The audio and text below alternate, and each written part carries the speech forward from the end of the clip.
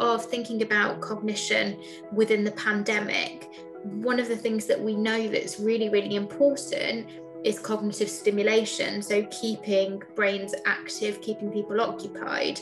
And there are lifestyle factors that can moderate the level of difficulty people might have. So, we know that being physically active is important. We know that being socially connected is important. Um, and having kind of meaningful activity to take part in obviously people have not been able to have those same opportunities during lockdown there's been a large proportion of people with cognitive impairments that have been socially isolated or living alone. So, not having the opportunities to have conversations, to engage in activities in the same way, I think has been really, really difficult in terms of maintaining the same level of cognitive stimulation. Where I would think about sort of cognition would be around those those skills of sort of learning, socializing, thinking, problem solving. And I guess that comes into all of my work, you know, at every age with young people.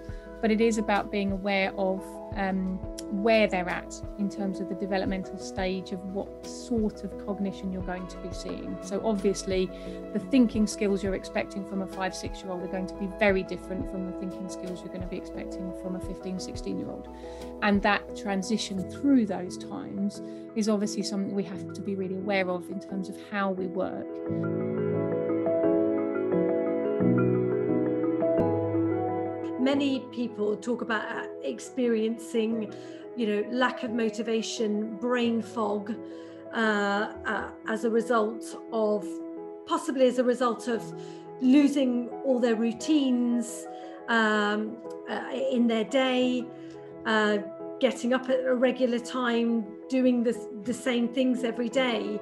I think maybe uh, beforehand we didn't realize how how much that contributed actually to sort of you know clear thinking and, and mental stability i think when you go younger down the age group actually in some ways it got harder because there were a lot of young people who weren't already on screen a lot who weren't already they may have been texting friends but they weren't interacting with their friends in a social way um, via screen or via social media and once you got down to the really little ones, so my, my daughter, my youngest is six, and it was really evident for her that screen just didn't really add up.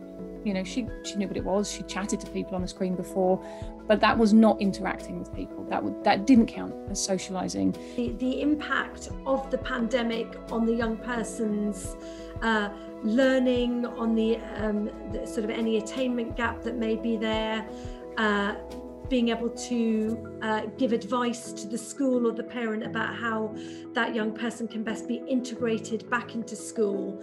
Uh, we are having to really evaluate that on a case by case basis.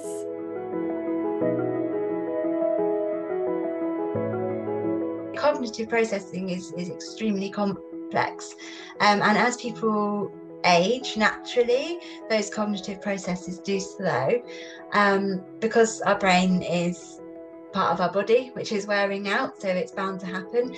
Um, one of the things i have noticed in the pandemic um, is that increase in in delirium with people who have had covid. Now i don't know why that is. Um, i'm not a neuro scientist or psychiatrists, but um, the impact it's had on people being able to do what they need to do is huge. One of the areas that I think we need to be considering is about how we support people with long COVID or um, individuals that may have experienced COVID themselves. So, thinking about the effects of having COVID, the fact that people might have been in intensive care, that they may have, may have had mechanical ventilation, they may have had um, medication, thinking about the possible side effects of that especially with older people, um, cognitive impairments is very, very common. It doesn't necessarily have to be a diagnosed dementia, but actually through those aging processes, and even as much as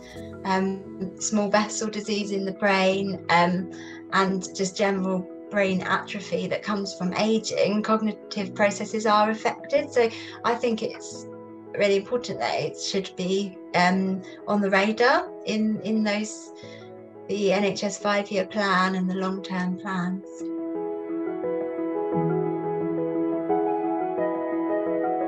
We're going to need to find new solutions. We're going to need to find ways of accelerating uh, our solutions to those to those problems. I think as NHS professionals, it's really important to think about the wider context of the NHS and the social and political climate as well. Um, with the NHS long-term plan, I guess the key aims of that are encouraging services to think about um, this start that people have in their lives. So, thinking about mother and child services, another aim is trying to think about try um, the links between mental health and physical health. Now we're hopefully coming through that survival period. Um, and we're starting to look to the future. We don't know what the landscape is going to be yet, so it's it's very difficult to to make plans uh, currently. I mean, obviously the challenges within the NHS. I mean, they are the similar challenges that are to, to education. I mean, it's the sort of postcode lottery of services and the bottlenecks. I mean, these, I think, are problems that have been hugely exacerbated uh, by the pandemic. So I guess those problems are going to be probably larger than they were. I guess for me, one of the things that I really like about the NHS is um, about that long term plan at the moment is the focus on joining up on um, wanting to make sure that it's networks, supportive networks around young people and around anyone um, struggling with the mental health issue, and that we're trying to get away from sort of things in, in little in little silos, in little groups where they don't connect, where mental health is seen as completely separate from other forms of health, where education is different from other, you know, other areas of welfare. I've had some really lovely examples in my own practice in the last few months where that actual contact and communication with the community mental health team has been really, really valuable in making that person's um, transfer home from hospital um, really seamless and, and keeping hold of the fact that their mental health is a massive part of, of the problems that they've been having, which brought them into hospital in the first place.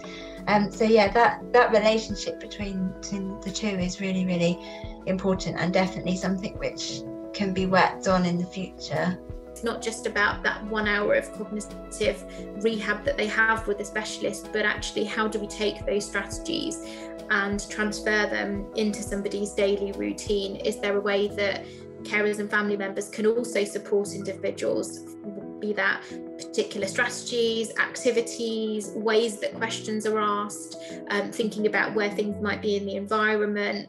Um, so yeah, I, I, I, think we are making progress, but I think that next stage would be really, really important.